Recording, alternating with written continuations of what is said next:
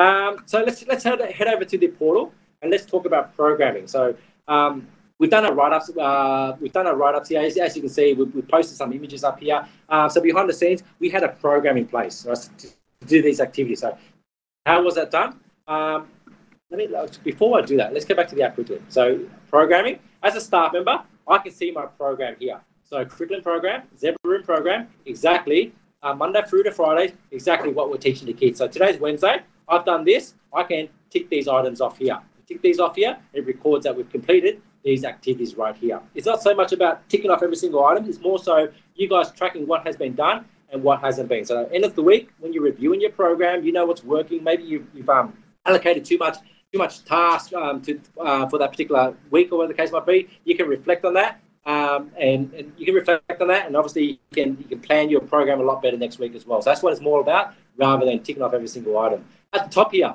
as a staff member, I can evaluate it and I can reflect on it. All right, and this is quite important, um, especially when you're you get assessed from an assessor. You can have the best program in the world, but if, if the assessor um, comes in, wants to look at your program, wants to look at how your staff members are reflecting on it, how they're evaluating it. If you don't, if they don't, if you don't, if they don't see that, you're not going to win their you're not going to win their praises. They like to see that you guys are constantly reviewing things, you know, um, seeing what's working, what's not, and improving on it. So that's a big, big, big word right there. It's improving on it. So if you if you can't document that, you're not going to win their praises. Because that's why a staff member is going to evaluate it. They can reflect on it inside here. As a parent, I get your program on the on the um on the timeline, but also I get your your as, as you can see there, or I've got your program available via the left menu here.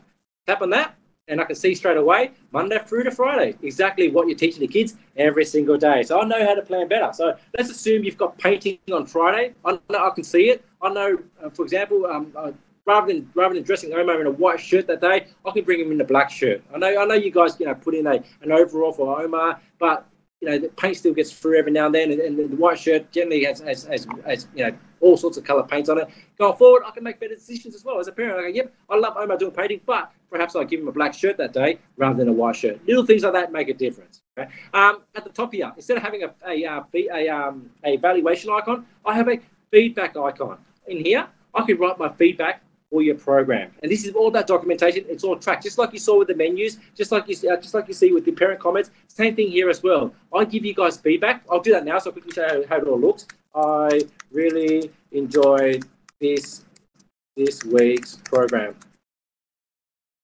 Uh, a bit of everything included. A bit of everything included. So as a parent, I can give you guys feedback. So in here, I go submit. Now that that feedback goes back and ties back into your programming. So let's have a look at how the, how the programming is all tied in. Okay, so on the portal, this is where you plan out your program. I'll go curriculum program.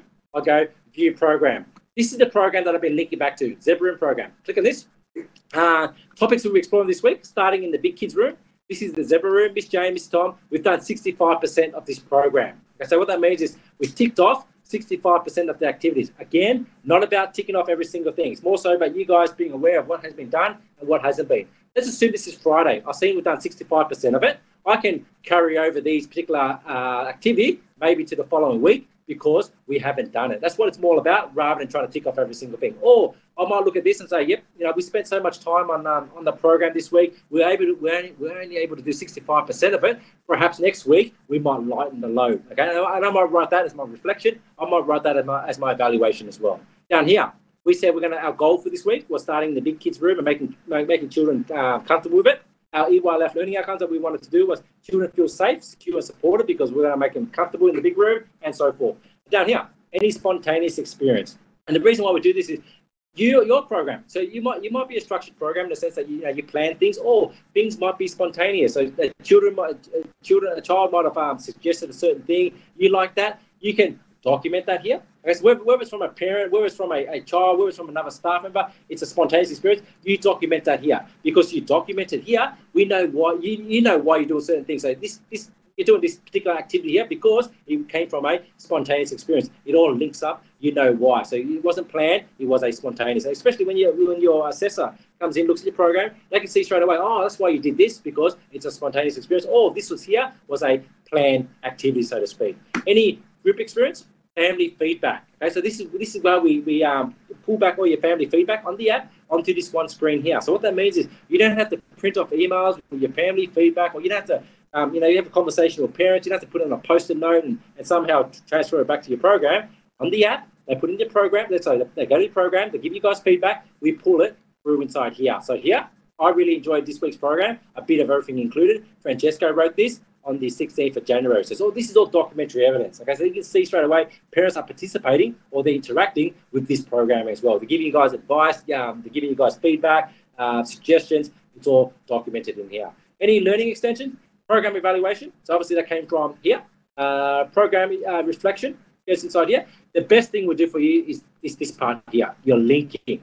So at the moment, I've got 52 images and videos that I've taken on the app that links back to this program. I've got 35 posts. When I say a post, your post is a write-up. Your write-up will consist of a, a, um, a portfolio um, or follow-up learning story, a generic post. If I link it back to my program, you'll be you'll show up inside here. So I've got 35 of them. I've got nine children involved in this program, and I've got 25 comments from parents on the app that link back to your program. So this part here, as a parent, um, if I go to this post because this links back to the program, and I'll give you guys a comment. That's what that comment section is here. Down here, I can tell uh, EYLF learning outcomes. When I did the post, so as, a, as an educator, I'll quickly run through it again so you guys are not lost. So when I did that post, a write up earlier, I went into here, I went to my write up, and I, I put in my up, I selected my images, and down here, I selected 1.1, 1.2, and 1.3. That's what this is tracking. So out of all the posts that we've done, the 35 posts, we're linking back to EYLF 18 times, or 1.1, 18 times, 1.2, 26 times, 1.3, 21 times. I know we're on track. And I know the reason why we're not, I know we're on track is at the top here, I said when we created the program, we're going to focus on 1.1 and 1.3. And down here, I can see our staff members are linking back to 1.1 and 1.3. So I know we're on track. If this program was based on 5.4 and 5.5, for example, and I can see all of a sudden, no, we're not linking back to any fives, I know there's something wrong. Right? So that's just a, a nice little um, nice little uh, report straight away, so you can see your EYLF summary right there.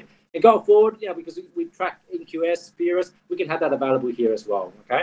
Um, down here, all your documentary evidence. Okay, so any images, any videos that you've um, put up on the app, and you link it back to your program, we pull this through for you automatically. So here, I can see these three images, the last three that I've taken on the app, and because it links back to your program, we pull this in here for you. So as you can see, you're, you're evaluating your program end of the week. This is going to be so much, you know, this is going to be so helpful. So rather than, than having to, to uh, flick through the iPads and or, or, digital camera, find all the images that you've taken for this week, if you link it back to your program, we pull this through here. You can see it all in one screen, nicely summarized. Okay, uh, down here.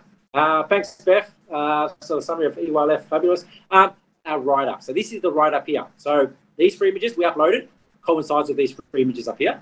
Uh, Omar Jerome Hudson really enjoyed today's activity. There's a spelling mistake. I'll show you how to edit that in a second. Miss Jane wrote this, 215. I've got one comment, one like. I can see the children that were tagged. I can see the achievements, uh, EYLF, NQS views, developmental milestones, kindergarten outcomes, or whatever the case might be that we link back to.